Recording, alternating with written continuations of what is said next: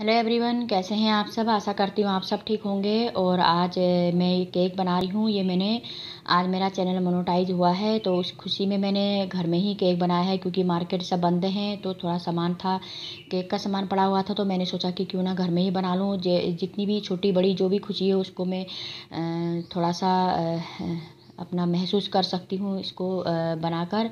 तो मैंने घर में ही बना लिया था और किसी को बुला भी नहीं पाई थी। सोचा था बहुत कुछ था लेकिन हो कुछ नहीं पाया और आप लोगों की वजह से आज मेरा मोनोटाइज हुआ है। आप सभी लोगों ने बहुत बहुत मुझे सपोर्ट किया था। अकेले मेरे बस की तो थी नहीं। मैं तो मुझे तो बिल्कुल भी नहीं लग रहा था कि कभी मैं मोनो मोनोटाइज हो पाएगा। तो मेरे बहुत से अच्छे अच्छे दोस्तों ने, मेरे भाइयों ने, बहनों ने और सभी लोगों ने मुझे बहुत सारा सपोर्ट किया है। और, ये देखो, मेरे हस्बैंड मैंने बोला था, आज तो आपको आना पड़ेगा सामने पे। तो वो बिल्कुल राज़ी नहीं थे। फिर वो आए तो फिर बेटे ने बोला, मम्मी, केक खिलाओ आप, पापा को और पापा आपको खिलाएँगे। तो ये देखो, उनको शर्म भी लग रही है। बोल रहे थे, मैं नहीं आता, मैंने जिद किया तो आ गए थे। बड़ा बेटा गया था मेरा ड्यूटी और छोटा बेटा हमारी वीडियो बना रहा था और हमने किसी को नहीं बोला क्योंकि इस समय आप देख रहे हैं कैसा माहौल हुआ है। कोई किसी के घर पर नहीं जा रहा है। तो मैंने कहा, थोड़ा सा एक यादगार यादगार एक निशानी रह जाएगी मेरी ये करके।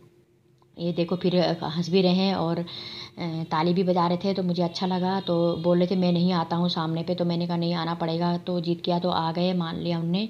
मेरी बात मान ली और, देखो, फिर हम बैठ गए थे वहाँ पर। तो मेरा बेटा फिर यहाँ पर हमारी वीडियो बनाने लगा। वो बोल रहे थे कि, वीडियो डालना मत। तो मैंने डाल दी।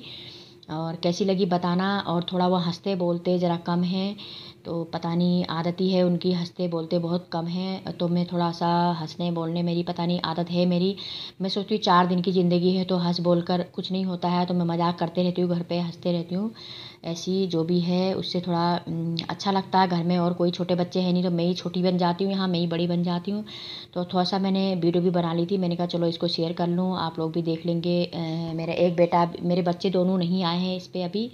और कैसी लगी वीडियो बना बताना और आप लोगों का फिर से दोबारा मैं बहुत से धन्यवाद करना चाहती हूँ।